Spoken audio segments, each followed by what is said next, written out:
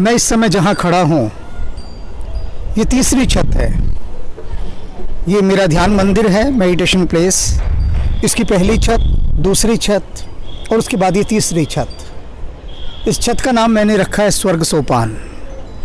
यहाँ पर बैठकर मैं अंतरिक्ष को देखता हूँ। घंटों इस छत के ऊपर लेट गए और आकाश को देखते रहे। अब जो जीवन से खो गया है संसार के लोगों का, वो है आकाश को देखना। आकाश हम नहीं देखते हैं। हम सिर्फ़ अब छतें हैं, सीमेंट की जिनके नीचे बैठते हैं।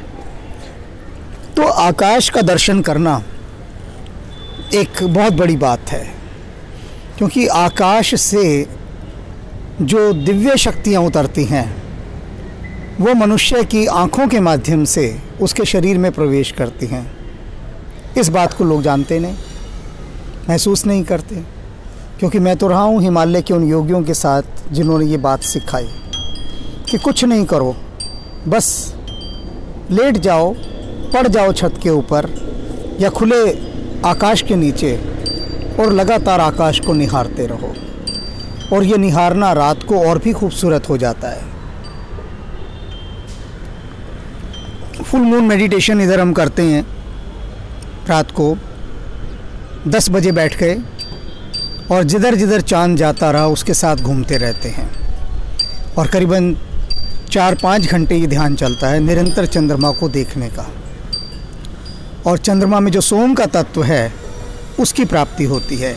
तो ये कुछ प्राकृतिक शक्तियाँ और चिकित्सा हैं, जिनको यदि हम जीवन में अपनाएँ तो आप पाएँगे कि कुछ भीतर कुछ बढ़ा है। और ऐसा बढ़ा है जो दिव्य है।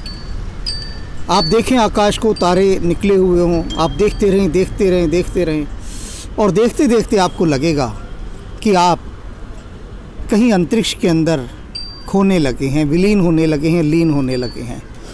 तो इस अंतरिक्ष के गहराई में गोता मारने के लिए ये बहुत आवश्यक है कि हम करीबन दो ढाई घंटे का समय निकालें और लगातार अंतरिक्ष का अवलोकन करें। तो उसके बाद जो अंतरिक्ष की शक्तियाँ हैं, वो आपके शरीर के अंदर जाकर और शरीर जो हमारा जिस ऊर्जा से चलता है, उस ऊर्जा के साथ जुड़कर आपको एक जीने का नया आयाम देंगे।